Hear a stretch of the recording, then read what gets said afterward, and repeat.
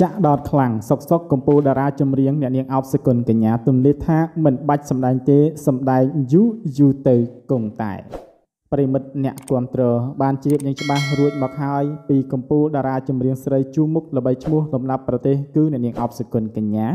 ដែលមានប្រជាប្រិយភាពខ្លាំងតាំងពីចូលសិល្បៈដំបូងរហូតមកទល់នឹងបច្ចុប្បន្ននេះនៅតែមានកេរ្តិ៍ឈ្មោះល្បីល្បាញខ្លាំងមិនប្រែឡើយមិនថាបងប្អូន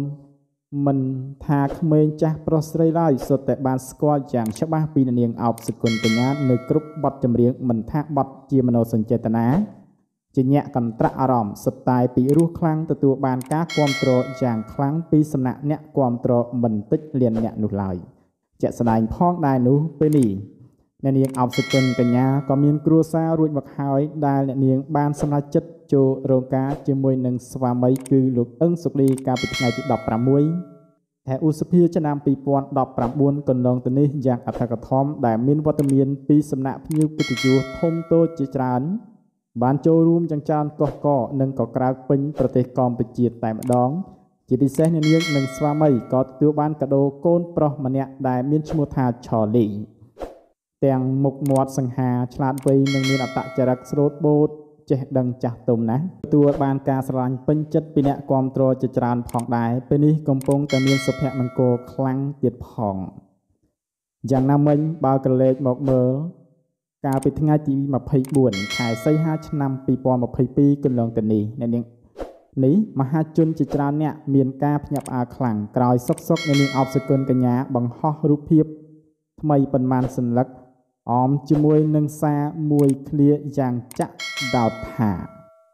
មិនបាច់សំដែងទេសំដែងយូរទៅនាំតែហត់ធម្មតាធម្មតាបែបធម្មជាតិទើបបានយូរអង្វែងគុណជីវិតមានតែប៉ុណ្ណឹងឯងជីវិតពោពេញទៅដោយការសំដែង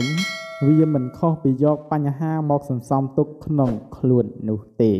នេះគឺជាសាររបស់នាងអោបសគុណកញ្ញា កាលពីថ្ងៃទី24ខែសីហាឆ្នាំ2022កន្លងទៅនេះ Mike Quinn ស្ដាប់ហើយរំភើបជំនួសអបសគុណកញ្ញាសរសើរស្វាមីមិនដាច់ពីមាត់ថាស្វាមីអ្នកនាងមិនត្រឹមតែពូកែខាងការរកស៊ីខាងក្រៅប៉ុណ្ណោះទេ ថែមទាំងពូកែលើកចំណុចទាំងនេះទៀតប្រិមិត្តអ្នកគ្រប់គ្រងបានជ្រាបយ៉ាងច្បាស់រួចហើយ ពីកម្ពុជាតារាចម្រៀងស្រីជួមុខល្បីឈ្មោះលំដាប់ប្រទេសគឺអ្នកនាងអបសគុណកញ្ញាដែលមានប្រជាប្រិយភាពខ្លាំងតាំងពីចូលសិល្បៈដំបូងរហូតមកដល់បច្ចុប្បន្ននេះនៅតែមានកេរ្តិ៍ឈ្មោះល្បីល្បាញខ្លាំងមិនប្រែប្រួលឡើយមិនថាបងប្អូន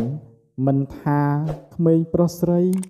ឡើយសុទ្ធតែបានស្គាល់យ៉ាងច្បាស់ពីអ្នកនាងគ្រប់បទចម្រៀងមិនថាមនោសញ្ចេតនា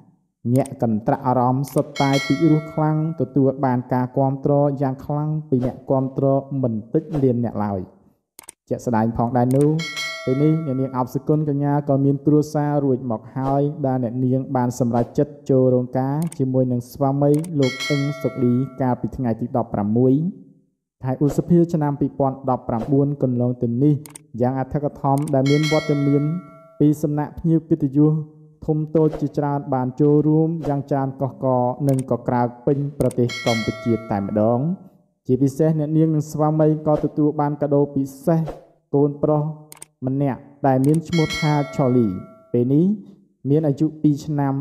ទាំងមុខមាត់សង្ហាឆ្លាតវៃនិងមានអត្តចរិតស្លូតបូតចេះដឹងចាស់ទុំណាស់ទទួលបានការស្រឡាញ់ពេញចិត្តពីអ្នកគាំទ្រជាច្រើនផងដែរពេលនេះ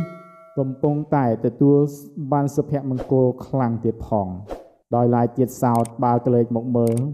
ពីការពីពេលថ្មីថ្មីនេះអ្នកនាងអោបសគុណកញ្ញាដាច់ចិត្តទំនាញនិងសរសើរពីស្វាមីមិនដាច់ពីមាត់បែបនេះថាស្វាមីរបស់នាង